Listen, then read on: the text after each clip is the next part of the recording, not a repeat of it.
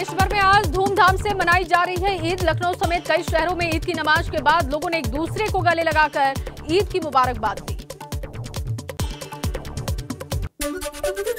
धार्मिक गुरु मौलाना खालिद रशीद फिरंगी महली ने लोगों से सरकार के द्वारा बनाए गए नियम कानून का पालन करने की अपील की है। बोले, मस्जिदों के अंदर ही नमाज़ पढ़े लोग।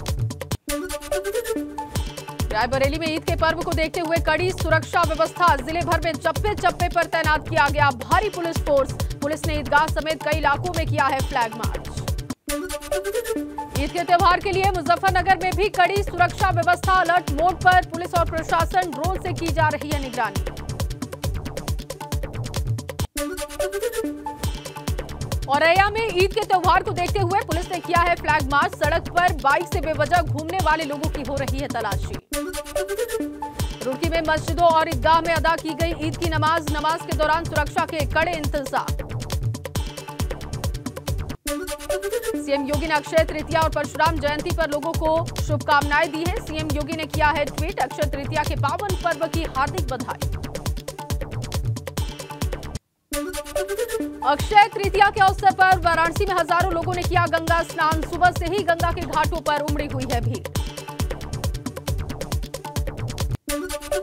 अक्षय तृतीया के पावन पर्व पर मथुरा के बांके बिहारी मंदिर पहुँचे। लाखों श्रद्धालु बांके बिहारी को गर्मी की तपिश से बचाने के लिए चंदन का किया जाएगा ले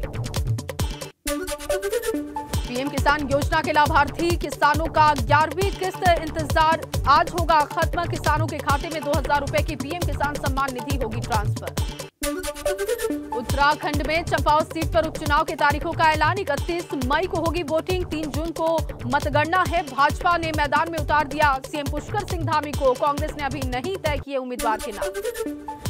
यूपी के मुख्य सचिव दुर्गा शंकर मिश्रा ने कानपुर में स्मार्ट सिटी के तहत हो रहे विकास कार्यों की समीक्षा की। बोले, विकास कामों को समय से पूरा करना प्राथमिकता। किसान नेता राकेश टिकैत का लाउड स्पीकर पर बड़ा बयान। बोले, धार्मिक आधार पर दोनों तरफ़ के लाउड स्पीकर बंद होने चाहिए। नोएडा के गार्डन गलेरिया मॉल के लॉस लेमन पब में हुए ब्रजेश राय की हत्या मामले में एक और आरोपी की गिरफ्तारी। बाउंसर जयवीर शर्मा समेत अब तक नौ लोग किए गए गिरफ़्तार। जौनपुर में एक शख्स ने पाँच लोगों को गोली मारी है। एक की मौत, चार लोग गंभीर रूप से घायल है। वाराणसी रेफर किए गए। श्रावस्ती में ट्रैक्टर ट्रॉली की बोलेरो से टक्कर हो गई। हादसे में 18 लोग गंभीर रूप से घायल हुए। बाराबंकी के कोटवा धाम जा रहे थे तीर्थयात्री। भदोही में दो मंजिला इमारत में लगी भीषण आग। 12 घंटे के बाद भी आग पर नहीं पाया जा सका है काबू। कानपुर में बच्चा चोरी होने का मामला आया है सामने। परिजनों ने पुलिस पर लगाए गंभीर आरोप, कहा, बच्चे की तलाश के लिए पुलिस मांग रही पचास हज़ार रुपए। लखनऊ की जीआरपी पुलिस ने चार बाग रेलवे स्टेशन से बच्चा चोरी कर बेचने वाले गिरोह के चार लोगों को किया है गिरफ़्तार। सोनभद्र में बारात के दौरान हुए विवाद में एक शख्स की हत्या हो गई। गाने को लेकर हुए विवाद में जमकर मारपीट हुई। गोरखपुर में बीए और बीएड की फर्जी डिग्री पर नौकरी कर रहा शिक्षक गिरफ़्तार हुआ। एसटीएफ गोरखपुर ने देवरिया से फर्जी शिक्षक को पकड़ा। ग्रेटर नोएडा के एक सोसाइटी के बेसमेंट में बाइक स्कूटी की टक्कर में झगड़ा हुआ। युवक और महिला के बीच में जमकर मारपीट हुई। प्रयागराज के नैनी इलाके में बहन को बुलाने गए शख्स को बहनोई ने गोली मारी, गंभीर हालत में शख्स को अस्पताल में दाखिल करवाया गया। पीलीभीत में भाजपा नेता रजनीश पांडे के भाई के तिलक समारोह में अश्लील डांस का आरोप है। विदेशी बार डांसरों ने जमकर लगाए हैं ठुमके, बरसाए गए लोग।